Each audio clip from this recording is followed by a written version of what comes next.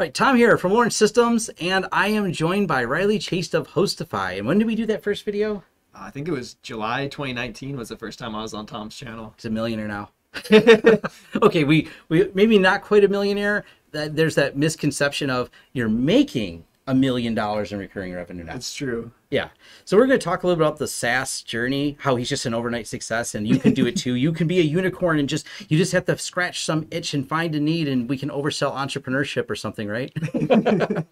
uh, you actually are very realistic like I am about this as a topic. I I never say it in a way of gatekeeping. I sometimes think entrepreneurship can be oversold, but but I only say oversold, not that it shouldn't be sold, not that shouldn't do it.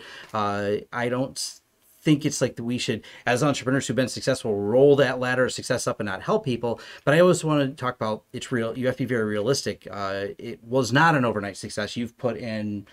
Could you even count the hours? You didn't work a forty-hour week to build this. Uh, you to build the HostiFi company, right? Just. Yeah, it's yeah, it's definitely been a lot of hours. it's it's a it's an idea, an alignment, and uh, having this whole. I don't know. It's so hard to describe, you know, isn't it? Because even you're, you're in shock when you hit the hit that mark, right? It's yeah. well, the thing is, I never really imagined that it could ever be that big. Actually, when I started it, I was actually thinking this was just like a yeah, I'm gonna this is gonna be a test run to try starting a SaaS business, and maybe if I get 10 customers, I remember actually thinking this: if I get 10 customers, it'll pay for itself, and that'll be a success for this project, and I can move on to something more interesting or more complicated. But uh, as I got deeper and deeper into it, it got more complicated, more interesting, and I found more customers than I ever thought. So yeah. yeah. So uh, a few years ago, to give you a little background, uh, well, go we can go further back. When did you start HostiFi exactly? Um, May 2018 is when I launched it, and I started like trying to put it together in like February, March 2018. Yeah, and uh, one of the things that made me interested in the whole project, well, not just the fact that I use UniFi, but because he publicly blogged step by step. And by the way, HostiFi wasn't the only thing you started. You actually tried uh, an MSP. You tried, uh, what else did you have going? You had a couple other things. I, I'm trying to remember what they all were. Yeah, for so for like four years before starting HostiFi, I had an MSP business called Lachlan Networks. After I started HostiFi, I thought, well, this is cool. Um, it's growing really slowly, but it's it seems like uh like it's working out. But I I thought, well, I'll try making a couple other things just like this. I think it got to like a thousand a month, and I was like, well, maybe if I could just like do ten more things to get to a thousand a month each, then maybe that'll work. So I I started like a VPN service called Ghostify. That's the other one. And yeah. I started a um, another service uh, called Captify, which was like the wireless portals integration for UniFi servers. Um, but I've since shut all those down. I also started MSP community, and I don't have time for that, so I shut that down as well. I, I think it's important to highlight that there it you're even though you are w- someone who's diligent, willing to put the work in, not every idea flies. Yeah. That's just something I like to be as realistic as possible. I sometimes see the oversold of, hey, look, he's making a million. You can do it too. Buy my book and I'll tell you how. Like that's the playbook, right? Yeah, yeah step by step. And there's not really a uh, the career paths are going to be very different. Uh, the, the commonalities is what you want to look for. Is like yes, yes, we all worked hard. We all put a lot of things in there. We also failed at a lot of things. Uh, I don't own suburban computers anymore. I don't have my electronics repair company anymore. I don't. I don't have, and I. I don't. I, there's several things Thomas failed at as well. So I always like to be very honest about it. But back to the HostiFi. So if you're not familiar with the whole UniFi platform, for those you maybe just came here talking about starting a SaaS business or you know follow whatever links led you here, the one thing about it is uh, you got to find something where there's a hole in the market. Yeah, that sounds really obvious. Now, UniFi has the controller software that they give away for free. You can just download it. And me, I'm bad at SaaS because I said, why wouldn't I just host it myself? So I host it myself. And why wouldn't other people host it themselves? Uh, that's where I'm not thinking like Reilly, who says, this seems like a little bit to set up to host. And I'm like, you know, my mentality, yeah, sure it is. Here's my YouTube tutorial on how to build your UniFi hosting. And Reilly says, no, I think people want to pay for this as a service. And so this free controller from UniFi that manages the UniFi platform, Reilly built the platform that manages that, that actually takes and takes care of all the hosting for you, takes care of all these uh, little intricacies of what it's like to set it up. And that actually brought you all the way into you do some QA testing. I, I laugh because I think as big as UniFi is, I mean, here's a company that's got a market cap of somewhere north of ten billion dollars, right? And people ask. Uh, I get tagged in Twitter and Reilly and there's a couple other people like I think Chris from Crosstalk's been tagged too a couple times. Uh, they'll ask us, should I upgrade to the new version? yeah. And we're like, it's always the question. It's always the question, but it's the doing things at scale. Uh, Reilly's really kind of niched into that and become kind of like the voice of UniFi that UniFi doesn't have. If you're not familiar, also yeah. with the other side of UniFi is their support's not great. They give away a product, they don't give away support. They don't even have a paid option for support. And it's weird that didn't UniFi have a market doing this for a little while? So for when I started HostiFi, we were actually directly competing with Ubiquiti. They had uh, after I launched HostiFi, they had actually just launched um, their own hosting product and their own support product. So they had uh, UniFi Elite and uh, cloud hosting that went along with that as well. And so yeah, we were actually competing head to head, but um, we kind of beat them at it because they stopped offering it, and now they don't do elite support. You can't buy it anymore, and they don't do cloud hosting. Um, they still have customers um, that we've been migrating over to HostiFi. They haven't done updates on their controllers in years, so they actually have uh, controllers out there that are vulnerable with security vulnerabilities running two year old 5.11.50 i think it was or something. That's crazy. And uh, yeah so we've pretty much taken all their customers though. They no longer offer it and um, yeah, it's just really weird. it's really weird to have a company have that gap like that. And so one cool thing though is near and dear to my heart is you're extremely public about all this. The blog posts you've really done a great job of uh, doing regular updates to step all along the way of how you got to where you are to be very transparent about it. That's uh, transparency is huge because I like to get share with the audience, so to speak, how we got where we are. No hiding it, you know, no back end. I didn't tell you, by the way, uh, my cousin's the guy who owns UniFi, and that's how I started. And right. Rob's not your cousin, so no, no. I don't even think. Matter of fact, at some point, I don't think they liked your logo. Am I right about that? That's right. Yeah, yeah. that's a whole other story.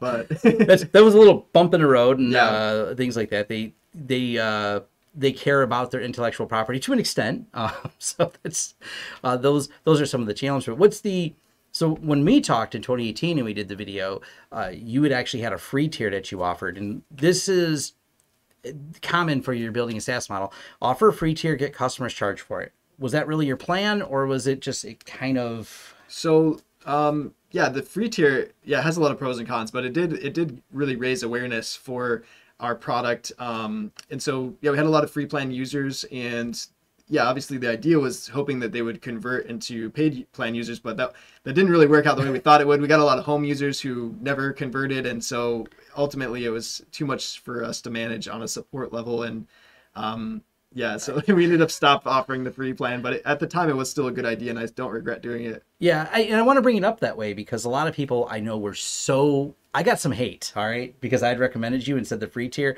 The uh, there's some angry people commenting on that video, probably still today. Tom, you said they had a free tier and they don't offer a bait and switch and things like that. oh. But it's there's here's the thing. It's not like you had some intention to mislead people. It's the we don't know when we're building some of these products. We don't always understand. It's hard to say until you do it, and you're like, oh, cool.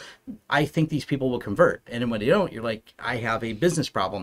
At mm-hmm. some point, if the free tier and you are not the first SaaS company to run into this. If the free tier gets too big and you can't sustain the yeah. cost of the servers on the back end, then you would end up actually toppling over as a company. You're like, oh, okay, cool. I have a million users now that don't pay. Uh, I'm paying more to Vultr than I have coming in for the paid users. My service is non-viable now.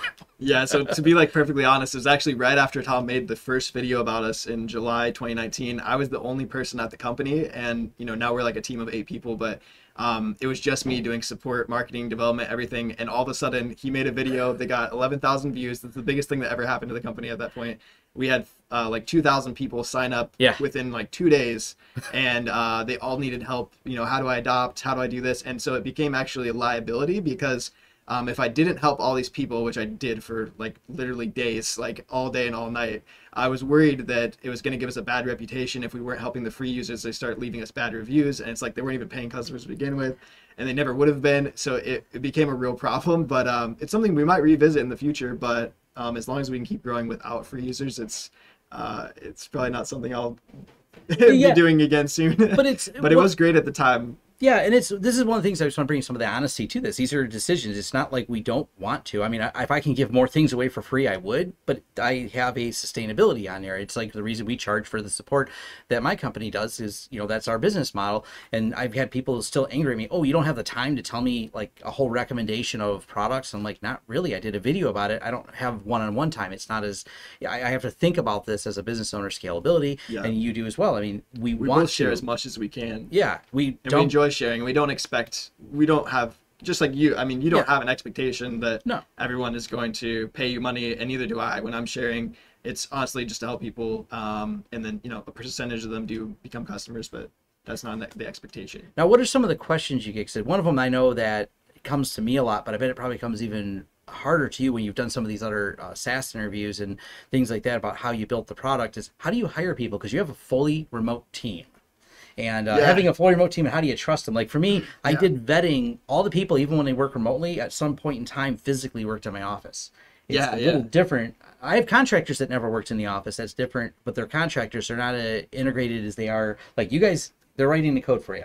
Yeah, so it's um yeah, it's really an interesting topic. Um and taking it a step further, not only have I never met anyone I work with, but none of them even live in the same country. So I'm in the United States here in Michigan, and I have um, employees in I have three employees in India, a guy in the UK, a guy in Germany, a guy in Ireland. I've never met anyone before. Um, the guy that's been working with me the longest, Safwan, um, he's been working for me for two years now, and we have never met in person. So it's yeah, people are really surprised by that. Um, but it's just really fun um, because we're able to like get people that are like really passionate and talented um, and instead of just searching for those people locally which i wouldn't be able to find them where i'm No, at they're not here.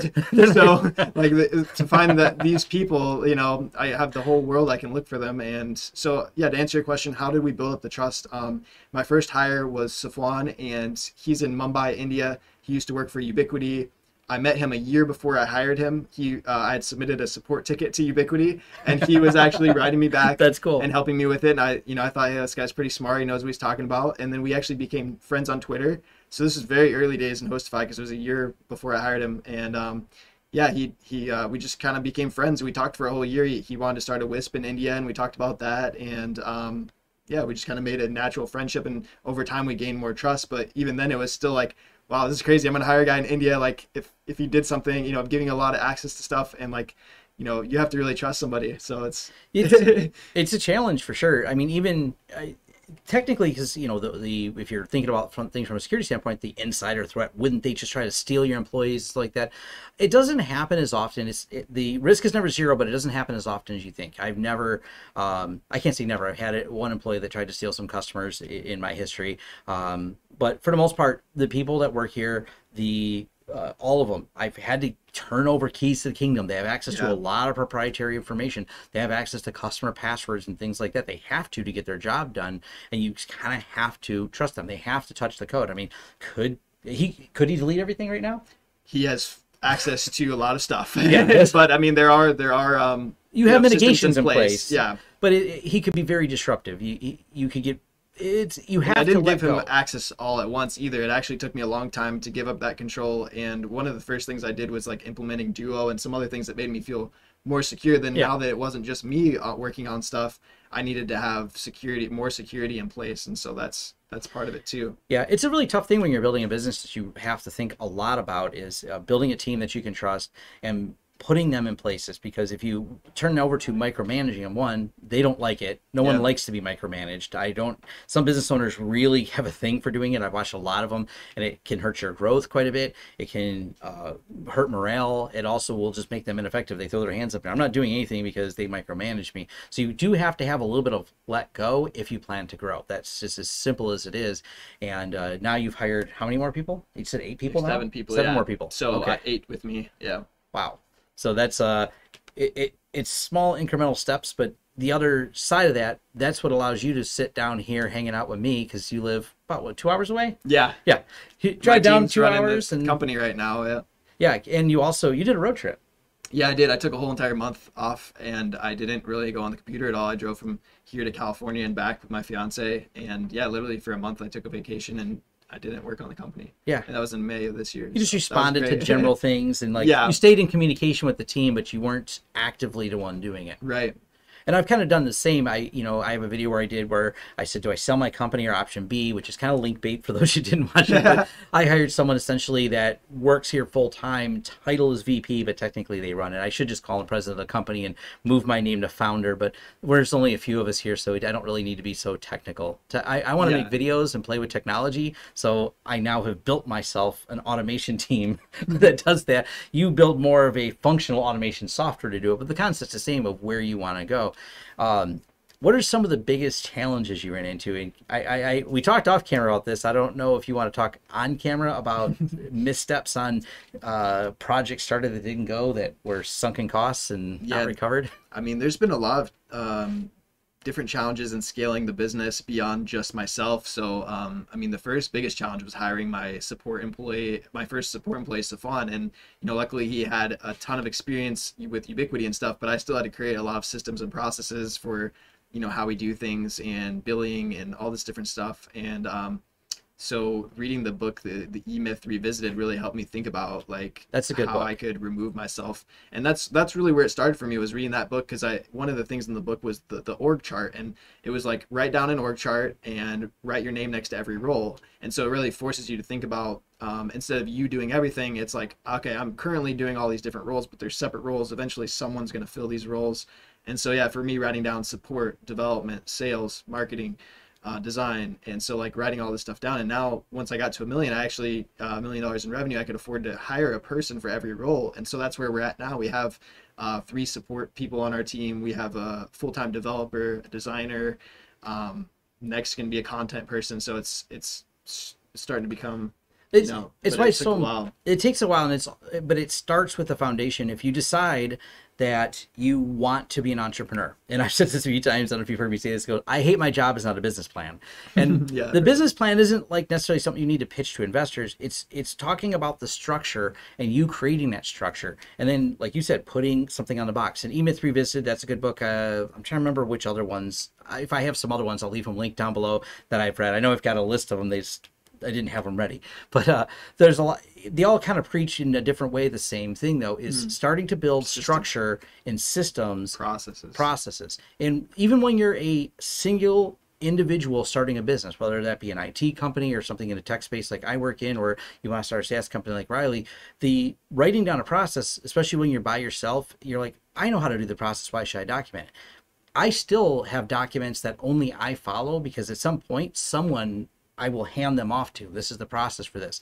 And when you start from that mindset, eventually I can have your work instructions from years ago when I started yeah. are still maybe been modified and tuned up to be modern, but I still always started with each of these processes. Then a person could be assigned to that process. On that name on the org chart, these are the steps the person has to be able to follow that helps you one hire for that position and eventually see the light at the end of the tunnel. That one day I won't be the one doing this. Yeah. You know, I won't be crimping cables anymore. I haven't crimped cables though in about 15, 18 years. And all. I did it when I very first started my company, and I realized one, I'm not good at it. Uh, two, it's way better done by people who do it all day. So True. now I always have contractors, but it's still a process. Somebody needs to install these cables. I need to get this infrastructure done. That's a position. That position happened to be in my category filled by contractor, external. Uh, same with accountant. Right now, we still use external accounting, and uh, but it's a process. This is what has to be submitted to the accountant. But at some point, I can draw a circle around that. Go, we want a person internal as I've become big enough.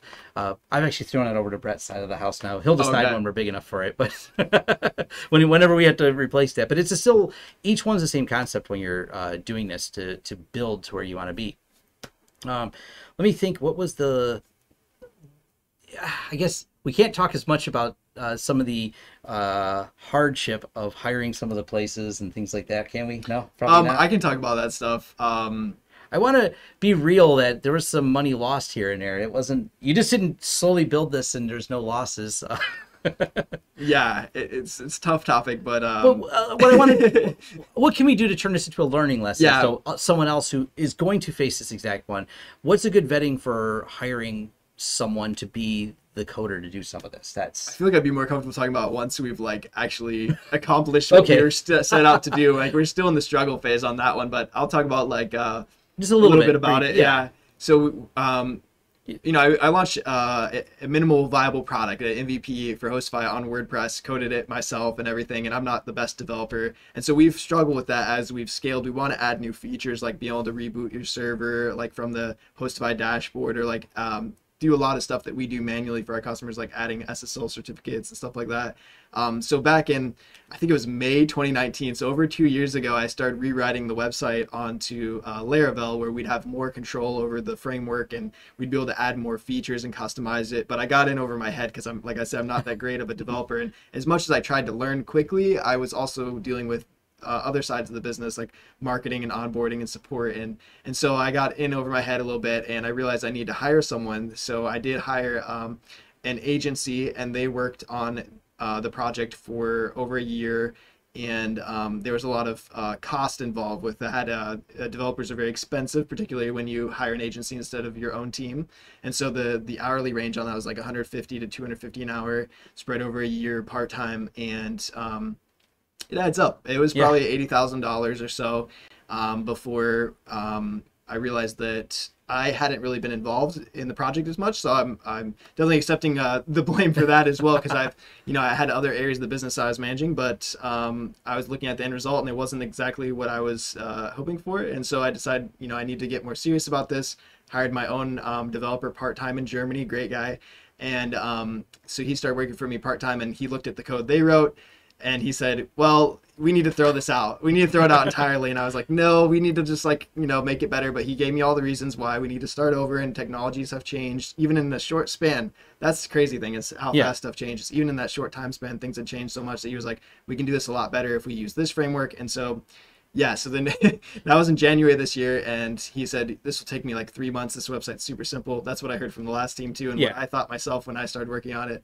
And um, yeah, and so now it's been nine months. We're getting ready to launch the new website, hopefully in the next couple of weeks. So yeah, but and, uh, and a right lot of now, sunk cost. It is it is September of 2021. So depending on when you're watching this, uh, we, well, launch date is still up in the air. It's a future right. tense, yeah, yeah. but you're always watching the video in past tense. That's so you true, may yeah. be watching this uh, a little while. It may be launched already, but these are once again back to the transparency. Uh, one, you blog a lot about this. Two, it's not all sunshine and roses. You didn't just overnight. You you see some of the su- success now, and it, I want to make sure people are very clear. It was a rough path. There was uh, money that we will cry over, and sometimes I think back and I replay it. You know, you go to sleep and you replay. Go, what would I do if I had that money I spent on that thing that didn't go anywhere? Oh yeah. Okay. Now won't dwell on it. But let's get back to the future uh, to wrap this up. I seen you posted you're building a new office. Yes, yeah. So let's talk about where you're at now, what you're doing. Cause I seen I seen an article about uh, you know, did they call you a micro SaaS? As I think that was what the term was. That article. I'll leave it linked down below. Oh yeah, I seen that post today. I think you got tagged in Twitter in it. Oh okay. Uh, I don't know. You know, it's one where you're riding an ATV. Oh yeah, yeah someone wrote, made a post about me. yes, someone made a post about you. Uh, and I seen you're building a new garage, new office, and I think that's pretty cool. Still keeping things small, not going beyond your means. I know that was. I read the article. I thought that was actually probably a good point. You don't let it go to your head because you want to keep focused. Actually, Reilly's been here a couple hours. We were supposed to record uh, a while ago. We've got this whole tangent conversation about business and things I like that. Talk all day. yeah, we can just talk all day. We decided at some point we should probably record some of this. Um, but I'll leave a link to that article. But right now you're you're building so you have a dedicated office. Because by the way, you got all the way here and you other than living uh, at a very low cost in um, northern area of Michigan or mid area of Michigan, uh, where the cost of living is lower. You, are not paying those LA type uh, California housing. Right. It's really inexpensive to live here in Michigan if you didn't know. Yeah. Uh, Google us, look up some map prices. like, how, I mean, you you own like a couple acres. Uh, ten acres. He owns ten acres now. You can't go buy ten acres in California. Yeah, it's cheap too. well, you could, but you would you would not have you'd have to have a much larger. You can't have a micro SaaS business to do it. yeah. You have to be like Google or something. yeah. uh, but anyways, you're building an office now, and uh, what's kind of the future plans? Where are we going from here? Um, yeah, so yeah, I'm building an office. Um, that's that's kind of more for me than the business. Yeah, but uh, it's it's really just like a four car garage. The second floor, uh, it's gonna have two story four car garage. The second floor is gonna have uh, two bedrooms where one of them is gonna be my office, separated from the house, be nice and quiet. I can um, do yeah, hopefully do some Tom stuff. Hopefully get a YouTube studio someday. That'd be awesome. But yeah, the uh, he, he, was checking out the studio. That ended up being a big conversation piece of yeah. Uh, you know, I built a lot of this. I'm not someone who's I, geek out a little bit about film stuff and things like that, but honestly, I do it to make anything I can do to make content easier.